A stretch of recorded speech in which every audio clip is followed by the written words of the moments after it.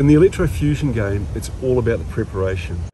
It's really tempting to get straight into it, but for successful welds, there's a few steps that have to be followed. So the first thing you want to do is to make sure you've got a copy of POP 001. POP 001 is the electrofusion guideline for Australasia, and you can find it on our website. Here we've got some 125mm OD water pipe. We've got a pipe peeler, electrofusion fitting, um, control box for the welding, wipes for cleaning the pipe surface. Here we've got a uh, vernier caliper to measure the peel that comes off the pipe. We've got a rule that we're going to use just to measure for the witness mark, marker pen. We've got a pi tape which is used around the pipe diameter to check that the, the pipe diameter is within specification. And in the box we've got a um, pipe clamp to make sure that the pipe and the um, fitting are perfectly aligned. The first thing we're going to do is um, measure the OD of the pipe. So the way you do that is you use a, a pi tape, this thing here, simply wrap it around the pipe and this pipe measures 100 and, 125 point, let's say 126 millimeters in diameter, which is which means it's within specification. It's supposed to be minimum 125. Now what I want to do is check the pipe's reversion or toe-in we call it. And toe-in is when the end of the pipe pulls in on itself. And so you just place a, a ruler on it. If the end of the pipe is pulled in, then that's allowable, but only up to a certain limit. And that limit is given to you in POP 001.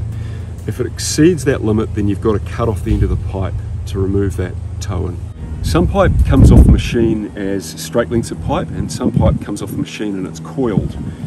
Coiled pipe often has ovality, even straight pipe can have ovality as well, and you've got to make sure that the ovality is within certain limits. So you do a quick check by making a mark here, mark here, mark here, mark here, and you measure the maximum diameter of the pipe, and then you look at the diameter of the pipe in that direction. And you do that all the way around the pipe.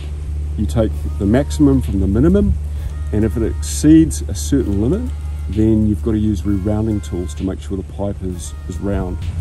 The next thing we're going to do is measure the electrofusion fitting and we're going to take half the measurement and we're going to make a mark on the pipe. So the fitting measures 170 millimeters in length. Half of that is 85 millimeters.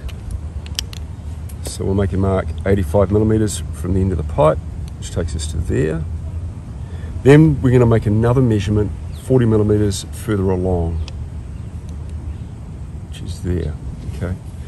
And then that gives us the maximum amount of uh, peel that we need long ways along the pipe.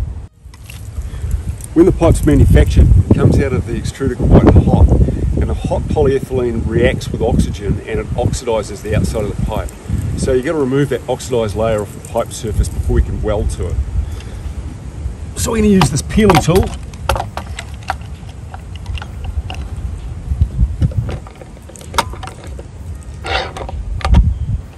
Up to our witness mark.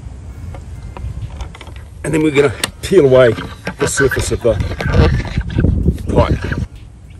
One of the most important things in pipe preparation is to ensure that you take enough oxidized plastic off the pipe surface because if you don't, it's a barrier between the pipe and the couple of welding with one another. The guideline POP 001 gives you the amount of peel thickness that has to come off the pipe surface. In this case, it's 125 millimeter pipe, and the guideline says for this size pipe, you need to take off between 0.2 and 0.4 millimeters of oxidized plastic. So you use a vernier caliper and you measure the peel, and you'll find that it's 0.25 millimeters in this case. This was a quick overview of the steps involved in electrofusion preparation. Next time round, we're going to do a weld from the beginning to the end.